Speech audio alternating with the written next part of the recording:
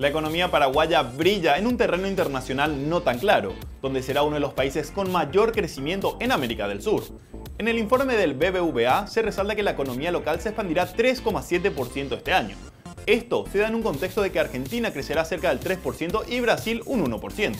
Lo que es cierto es que todas las proyecciones económicas consideran que Paraguay superaría nuevamente la barrera del 3%. Uno de los principales motores económicos serán las construcciones nuevamente. Para La Nación, soy Santiago Sabatiero.